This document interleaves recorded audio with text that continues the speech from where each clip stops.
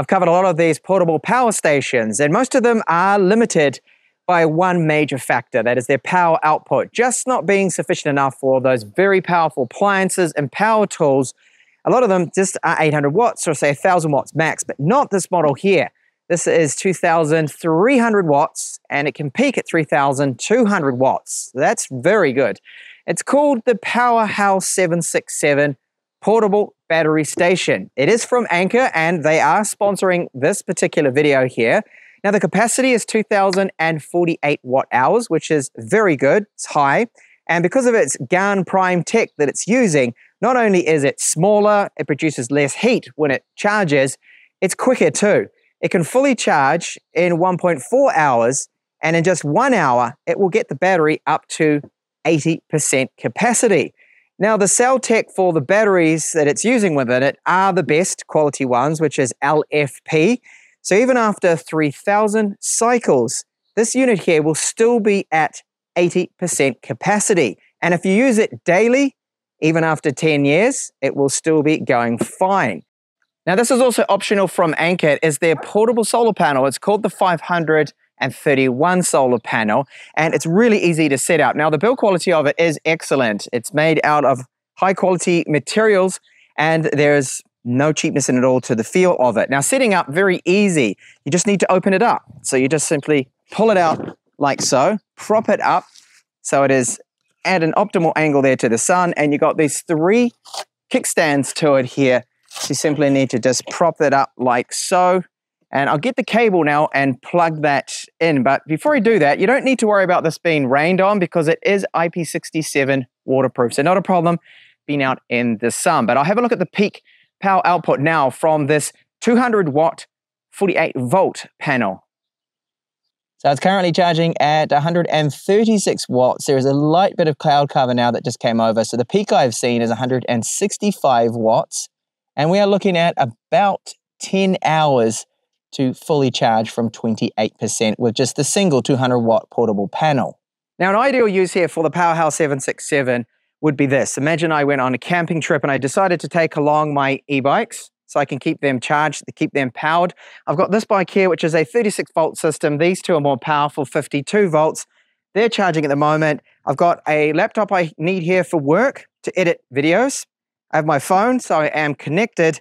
So this is power delivery, 100 watts. This is currently pulling about 60 watts. And all combined with everything at the moment, I'm looking at it around just over 900 watts. So it's not even close to its limit, which is across all three of the plugs and everything of 2,300 watts. Currently with the solar panel, the Anker 531, I'm charging at around about 160 watts. So I'm able to just keep all of these devices here powered and because we've got a very large capacity to the 2048 watt hours. So it is ideal for those camping trips. Oh, and I even have this a air pump right here that is using the car socket so I can use that to pump up the tires here.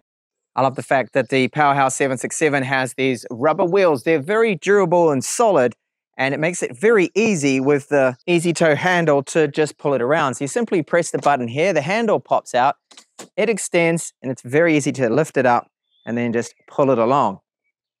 Now, this water blaster will use 2000 watts, which is 300 watts under the nominal rating.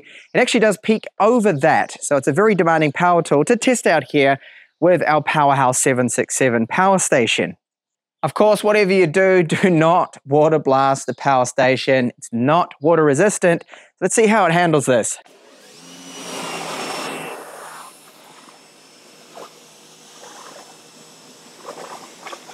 Absolutely no problem. It can handle that 2000 watts. And I do hear the fan has come on, of course, to keep it nice and cool to stop it from overheating.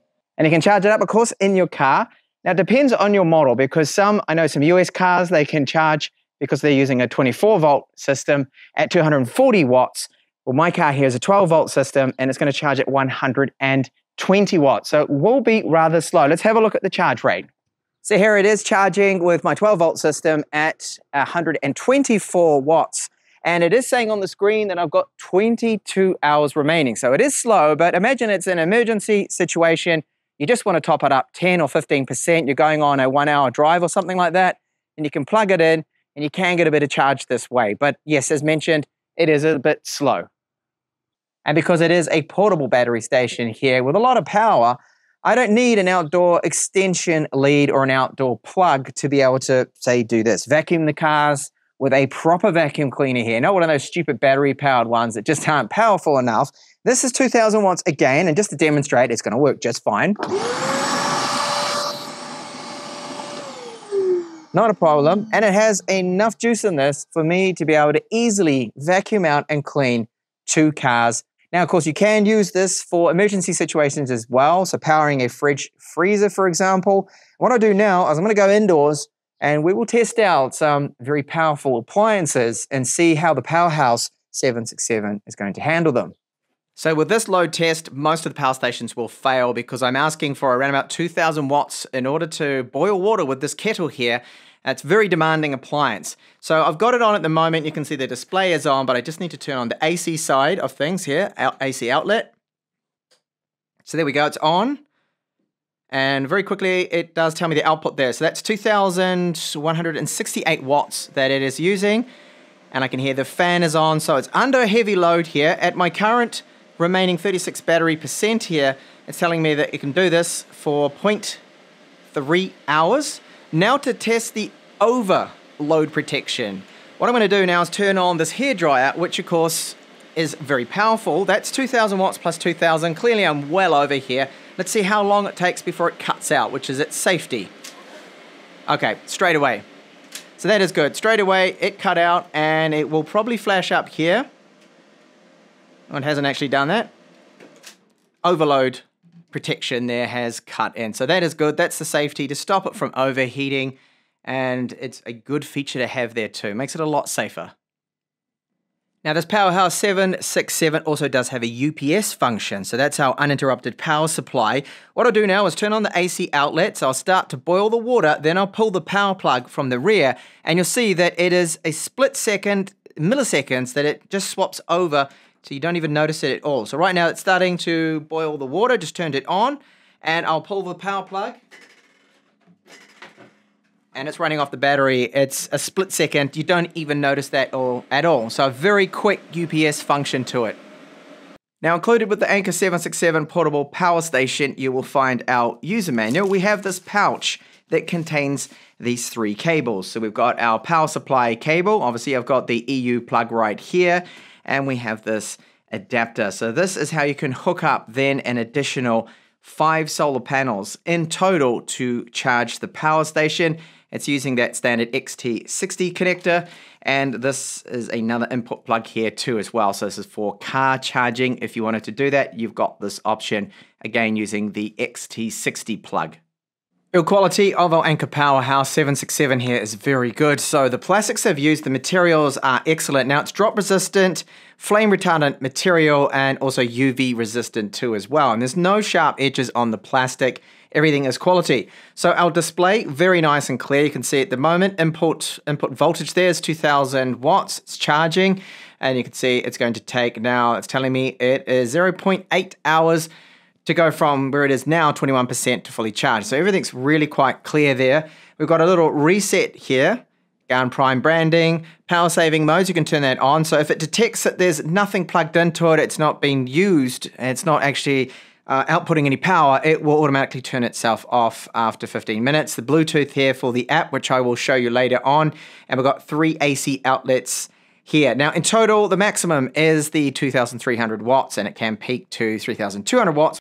So the car sockets here, so both of these, they can handle 120 watts each and you can turn them on and off. So this is the button here to turn those sides off. And then here with our DC outlet, we have three here Type-C ports that can support up to 100 watts and 12 watts for both of the Type-A ports there. And then right up the top here, we've got our LED light. So this is again another feature that's great in emergency. So it's a three stage light. That's the first level, second, and then finally our third, which is quite bright. It will light up a room. In emergencies, that's gonna be perfect. On the left and right, we do have these handles that are very sturdy and strong and there's no creaking of the plastics, does not feel cheap. So we've got our two solid wheels here and this is a vent. So there's vents on it, and of course it does have a BMS. So that's battery monitoring system. And that is working 100 times a second, checking the temperatures of everything to make sure nothing is going to overheat.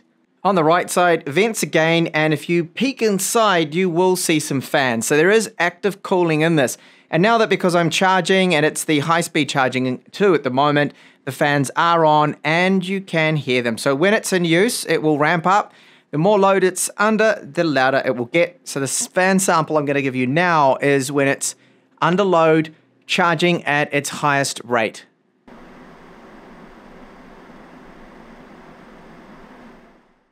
So at the very back here, we do have the input for solar and car charging. So 11 to 32 volts, 10 amps, or 32 volts to 60 volts at 20 amps. So it's a 1000 watts maximum with the solar input. This little button right here is the overload protection. So if that does trigger, you simply need to press that to reset it. And this is the AC charging plug. So at the moment, that's at 230 volts and about 2000, just over 2000 watts charging. Right next to that is a fan that you can feel a bit of warm air coming out of because it is under load charging so quickly. Then finally, below that, we do have this, which is a plug. So this is where you plug in the cable and the modular battery that will sit on top of it. This allows us to double the capacity. So you can take it from the 2048 watt hours to then up to a very large 4096 watt hours. Now you would have noticed this here too, which is our Bluetooth function. That's for the application and we've got power saving. So power saving, turning that on, it means if it doesn't detect any output after 15 minutes, it will automatically power itself off to save on the battery. Then our application here, it is simply called Anker. You can get it on Android, which I'm running right now, or iOS, and it does show you straight away our battery percent, the temperature, the remaining usage time there or charge time, the outputs from the USB ports, from the AC ports. So I'm currently using 29 watts there, 43, and it does tell me the total there is 72. Now you can turn them on and off. This is all remotely via this application. You can set a timer here for them too, which is a great option to have. Power saving mode and then the light on the front of it. In the settings, we have some more advanced options. This is a very handy one to have, so you can limit the charging wattage if you want it to just pull a little bit less. Maybe you've got a socket or the setup you've got, you don't want to be pulling too much, then you've got that option. Uh, the screen brightness can be adjusted, its timeout, the SOS mode for the light if you're in a situation where you need that, well, you can turn it on. Uh, the temperature of it in degrees, firmware updates, I've actually received, received one already, so that's good to see. So it is a straightforward, very easy to use application, and no, you don't have to register or log in for it. It does ask you to, but you can simply just skip it. Overall, this is an excellent portable battery station out of the ones that I have covered here. Love the build quality, so high-end, top plastics they've used. It's UV resistant, drop resistant, and the easy tow handle, as I showed you before, makes it very, very easy to move about with this model here because it is heavy. It does weigh 30 kilos. Now, the 30 kilos is fine for just lifting it up and moving around just short term, right? And the handles are good, but of course, having those really solid, durable wheels on there means it's great to just pull it along, cart it around everywhere. It's just like having a large suitcase behind you. So the maximum power output for me is the best part about this model here because it is 2,300 watts, can peak at 3,200 watts, and so many of the competition, they just don't have that at all. They're uh, way less powerful, and they don't charge like this model here either because this will charge up to 80% in just one hour. That is very quick considering the capacity of it, 2048 watt hours. We've got the 1000 watt solar input here. And I love the fact we've got the AC side of things there. The screen is clear. We have the application support and a lot of built-in safety because it does have the battery battery management system. So BMS, it's checking on the temperature and it's 100 times a second it's doing that, monitoring it all, that it's all safe. And of course, we're using those LFP cells. So they're good for well over 3,000 cycles. That's just when they drop down to 80%. And you can even use this thing for about 10 years. So that's the full story of Anker's Powerhouse 767 portable battery station. Thank you so much for watching this video.